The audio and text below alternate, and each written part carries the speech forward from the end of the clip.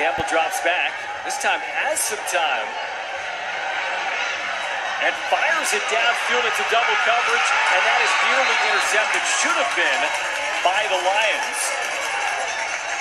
And I believe that was Dezman Ellis down there. Yeah, Dezman Ellis was just two Lions were down there um, waiting for that football. And again, Campbell trying to get it down the field, but you got to give a lot of credit to